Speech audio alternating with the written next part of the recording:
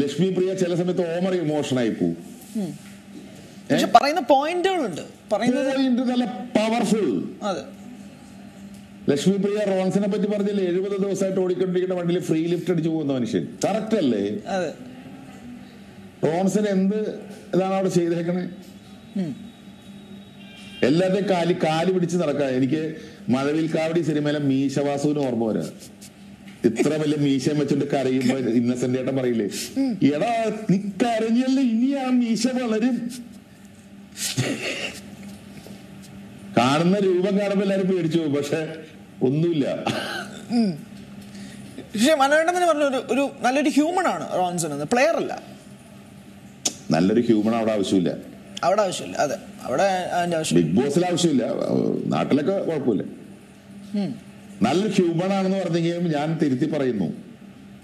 ചെറിയ കുറച്ച് കുറുക്കന്റെ സ്വഭാവമുണ്ട്. പലരെ മൂടും താങ്ങി സ്വന്തം ഭാഗം സംരക്ഷിച്ചിടക്കുക അത് കൊള്ളൂല. അത് നല്ലതല്ല. ശരിയല്ലേ? അപ്പൊ അപർണ ഒരിക്കലും അങ്ങനത്തെ ഒരാളല്ല. പക്ഷെ ഈ റോൺസൺ എങ്ങനെയാണെന്ന് അറിയാമോ ഓരോരുത്തരുടെ മൂടും താങ്ങി നടന്ന് തന്റെ തന്റെ സീറ്റ് സേഫ് ആക്കും. അതൊരു നല്ല വ്യക്തിത്വമല്ല. മനസ്സിലായി. വ്യക്തിത്വമില്ല. ഞാൻ ഞാൻ പറയുന്ന അതാണ്. ഹ്യൂമൻ എന്ന് പറഞ്ഞാൽ ഓക്കെ പോട്ടെ മാറ്റി നിർത്ത്. വ്യക്തിത്വമില്ല.